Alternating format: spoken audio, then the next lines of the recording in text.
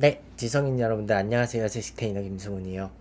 오늘은 뭐 손을 흔들거나 뭐 그러진 않는 게 오늘이 발인인 배우에 대한 컨텐츠를 오늘 사심역사 인물탐구로 정, 정을 했, 정했어요. 그래서 지금 말도 좀 헛나오고 그러는데 좀 최근에 이제 대통령 취임식도 있고 그래서 좀 순서가 좀 늦어졌어요. 그래서 이 점은 좀 양해를 부탁을 할게요.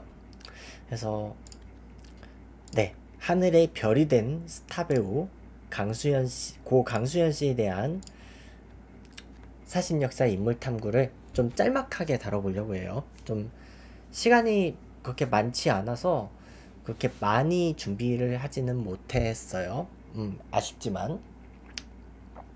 네. 자, 고 강수현 씨, 네, 1966년 8월 18일생이고요. 2022년 5월 7일에 하늘의 별이 됐죠. 서울 종로구에서 태어났는데 그 일단은 만 3세였던 1969년에 지금은 없어진 동양방송에 캐스팅이 됐대요. 잠깐만. 이 동양방송이 캐스팅이 돼가지고 이제 언론통비합 때 KBS로 합해졌죠. 그래서 동양방송의 전속 배우로 활동을 했는데 그 다음에 이제 서울 교동국민학교 지금은 교동초등학교라고 그 사별대로의 그 운현군 근, 근처에 있는 학교예요. 지금도 있어요. 그리고 풍문여자중학교 졸업을 했는데 원래 풍문여자 중학교 고등학교가 있었어요. 풍문여고는 내가 들어본 적이 있었거든요. 근데 이때는 서울 도심의 안국동에 있었어요. 그러다가 1992년에 이제 서울 종로구의 인구가 줄어들면서 그 여자 중학교가 폐교가 돼요. 그리고 이제 2017년에 이 풍문 여자고등학교가 이 저기 강남의 자곡동으로 옮겨가요. 자곡동이 어디냐면요. 세곡동보다 조금 북쪽에 있어요. 세곡동보다 조금 북쪽으로 그 동쪽으로 탄천을 건너가면 문정동 법조타운이 있거든요. 그쪽이 있어요. 내 동생 부부가 잠깐 그 문정동 법조타운 쪽에 살았기 때문에 이거 아는 얘긴데 그래서 그쪽이 이제 개발이 되면서 네 맞아요. 세곡동이랑 수서동 사이에 있어요. 이 자곡동으로 옮기면서 남녀공학으로 전환이 돼요. 그리고 이제 동명여자고등학교 졸업을 했는데 지금도 그 위치에 있어요. 그 통일로에 가면요. 불광동 성당 건너편에 있어요. 음. 거기 있다고 들었어요. 어쨌든 고등학교까지 졸업했고 대학은 안 갔더라. 사실 사실 대학을 가기에는 아마 시간이 없었을 거라고 봐요. 왜냐면 물론 이제 배우 학생 시절 때부터 배우로 활동하는 사람들 중에서 뭐 흔히 그 이 시절에 영, 배우들한테 제일 그 가고 싶었던 대학교는 중앙대학교였거든요. 그 중앙대학교에 연극학과, 영화학과 있잖아요. 그 그때까지는 중앙대학교가 거의 선두주자여가지고 그 우리나라에서 연극학과, 영화학과가 제일 먼저 생긴 대학교예요. 뭐 그런 대학교 갈 수도 있었겠지만, 네 대학을 진학하진 않았어요. 그 이제 본관은 진주강씨고 오빠가 두 명이 있고 여동생 한 명이 있었고요. 이 영정 사진을 부탁한다고 그 작가분한테 전화를 했던 게 여동생 분이었대요. 음. 그리고 이제 그 결혼할 시기를 놓쳤나 봐. 그래서 배우자는 없고 그 그리고 아무래도 아마 그 영화 촬영에서도 그 비군이 연기를 했었고 뭐 그러다 보니까 아마 좀 불교 쪽에 종교가 있었다고 하나 봐요. 자, 만 3세에 길거리에서 캐스팅이 돼서 동아, 동양방송이랑 계약을 해요. 그런데 이제 1980년 그 전두환 씨에 의해서 언론 통폐합이 일어나죠. 이 언론 통폐합으로 KBS로 옮기게 돼요. 그러니까 동양방송 쪽에 전속 계약이 돼 있었던 방송인들은 전부 다 KBS 소속이 된 거야. 그래서 1983년에 당시 KBS의 청소년 드라마였던 고교생 일기에 나와요. 그러니까 이 고교생 일기가 그 청소년 드라마라서 그렇지 약간 그 드라마의 컨셉은 뭐 대추나무 사랑 걸렸네 뭐 전원일기 전원일기도 되게 오랜 시간 동안 드라마를 했잖아요 그 배우들 세대를 바꿔가면서 그렇기 그랬기 때문에 이 고교생 일기도 그 시즌별로 그 배우 그 시대의 어린 배우들이 돌아가면서 했대요. 그래서 이 시기에는 강수현 씨랑 손창민 씨가 같은 시즌을 뛰었대요. 그래서 만 17세 때 이미 그 완전 하이틴 스타가 돼가지고 길거리에서 알아보는 정도 그 배우가 됐는데 자 이제 고등학교를 졸업을 하고 성인이 돼요. 만 19세가 되자마자 바로 고래사냥 2에 출연을 해요. 이때 고래사냥 2에 나왔던 사람들이 안성기 씨, 손창민 씨 등이었다고 해요. 그러니까 이제 미미와 철수의 청춘 스케치.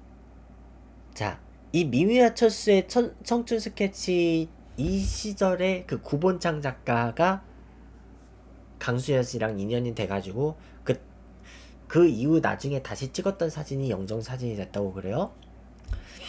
근데 이 미, 미미와 철수의 청춘 스케치는 1987년 관객 동원 1위. 그 1987년 우리는 지금 제네바로 간다도 10만 명 넘게 동원을 했고요. 이 활약으로 대종상 영화제에서 여자 인기상이랑 여우 주연상을 수상을 하게 돼요. 첫 수상이라 그래요. 그 각종 영화제. 음. 성인이 되자마자 영화제 수상을 했어요. 자, 그리고 이제 그 이제 1985년에 성인이 됐다고 했잖아요. 1986년에 시바지가 개봉을 해요. 그 유명한 시바지. 근데 이 시바지가요. 제작은 1986년에 됐고 국내 개봉을 했어. 근데 이거는 사실 해외 영화제 출품이 목적이었어요.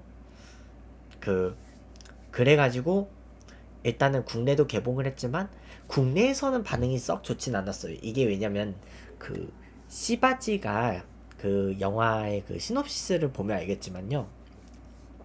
그냥 좀 오래전 영화니까 그냥 줄거리 스포 대충 할게요. 그 명문가의 아들을 낳기 위해서 시바지로 들어가요. 그래서 그 아들을 낳아줘요. 아들을 낳아주는데 쫓겨나요. 근데 이게 그 조선시대의 모습이랑 좀 모순이 되는 게요. 조선시대 때는요, 아무리 첩이라도요, 아들을 낳는다고, 아들을 낳은 첩을 쫓아내진 않았어요. 물론, 첩의 아들은 그 아버지를 아버지라 부르지 못하는 그 홍길동 같은 존재가 되겠지만 아빠를 아빠라 부르지 못하겠지만 그래도 그 집에서 살 수는 있었어요. 물론 성인이 되면 뭐 따로 나가서 살든지 뭐 했겠지만 음, 뭐 대감마님이라고 부르겠죠? 그런 입장이고 그리고 조선시대 조정에서는요 후궁이 아들을 낳죠? 그러면요 그 후궁은 비록 중전까지는 승격이 못 되더라도요. 그 후궁 서열이 굉장히 올라가요. 그리고 만약에 중전에게서 그때까지 아들이 없으면요. 보통 만일에 대한 보험 수단으로 후궁의 맏아들이 원자가 돼요.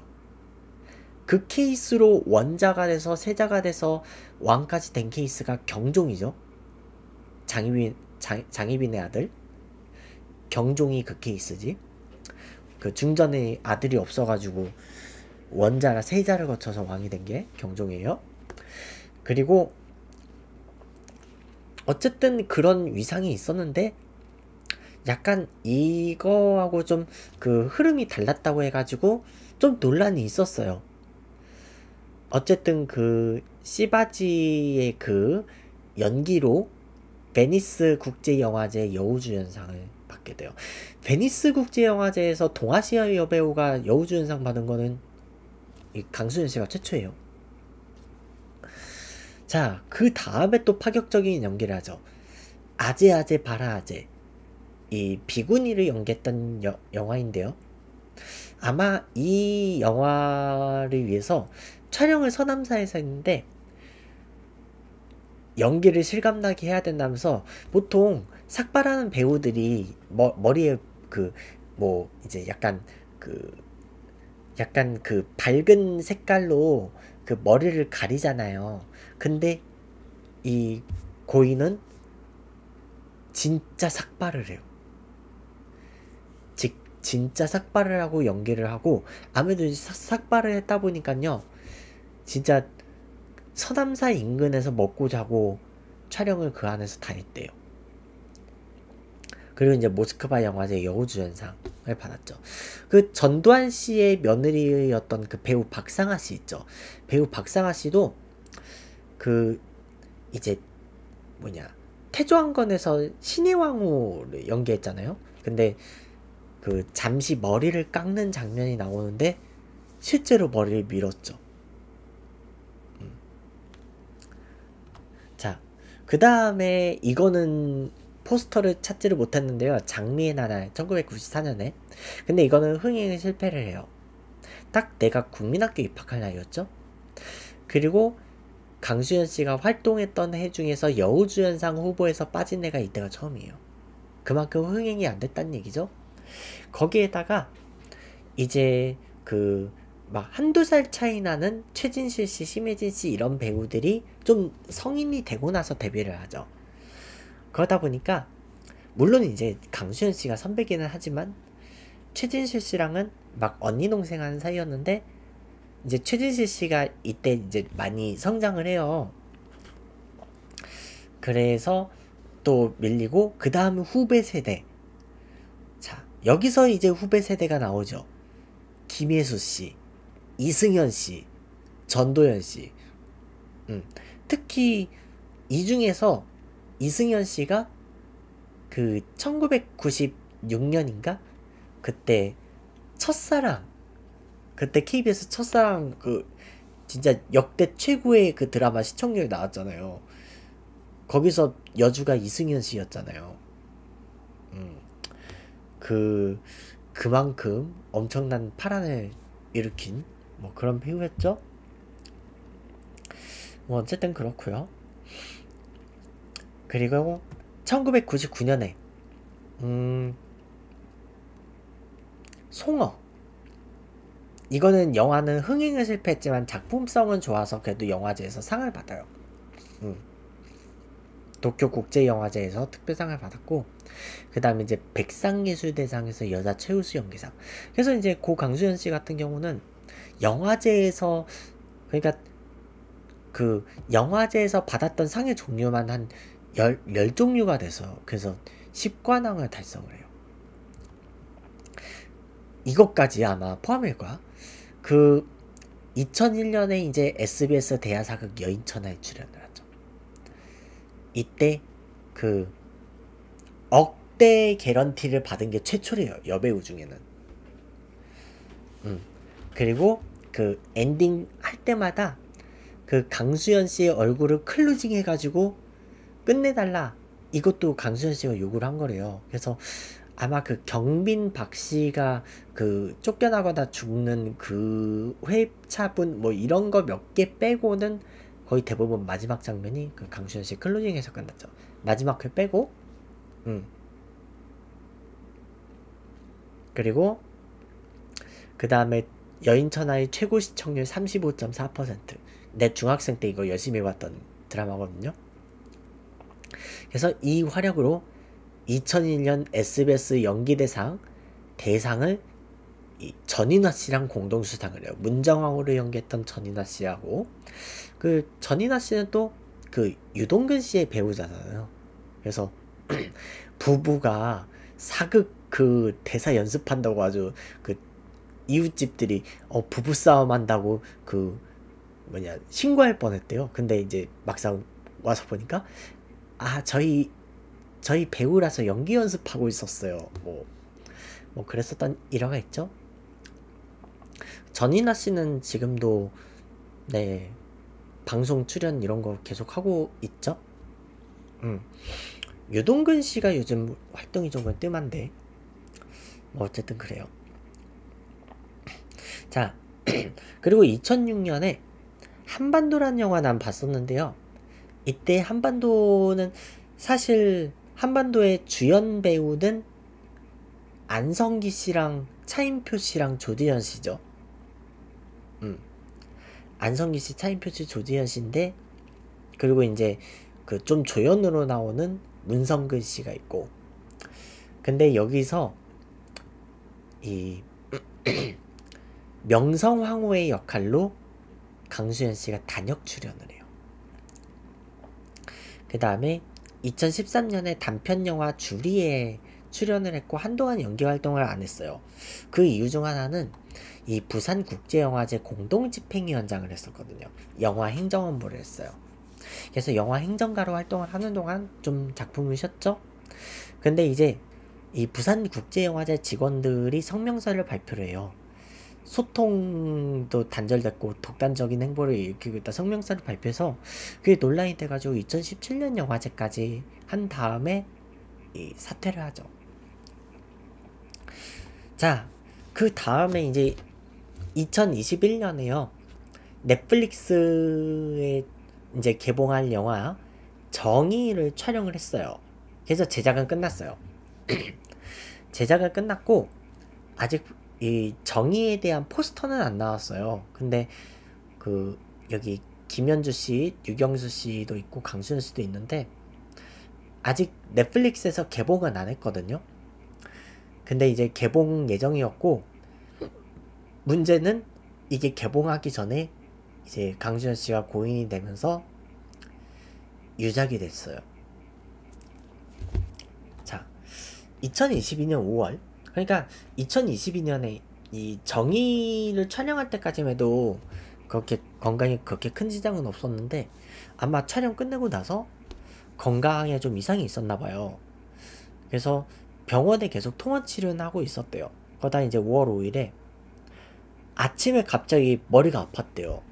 머리가 너무 아파서 119를 불렀는데 막상 119 구급대원이 출동을 하고 보니까 어 근데 어 지금은 좀 아프긴 한데 어 응급실 후송은 아니 나 어차피 그 병원 가니까 다음번 검진 때 한번 진료 때 얘기해 볼게요 했는데 안타까웠던 건요. 이때 오전에 119 구급대가 왔을 때 바로 병원으로 후송을 했었다면요. 그러면 바로 이 그 CT 촬영을 해가지고 이 상 그 이제 뇌 상태 보고 바로 응급 수술이라도 해가지고 살 수 있었대요. 그 홍해걸 기자에 의하면 그 홍해걸 기자 유튜브 채널에 올라왔거든요. 그 홍해걸 기자에 의하면 오전에 이때 바로 그 병원에 가가지고 바로 검사를 했었으면요. 그 응급수술을 해서 살 수는 있었다고 그래요. 근데 조금 괜찮았나 봐?